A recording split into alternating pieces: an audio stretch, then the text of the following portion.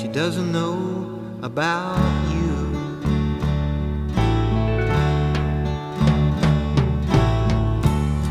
I can tell her my trouble.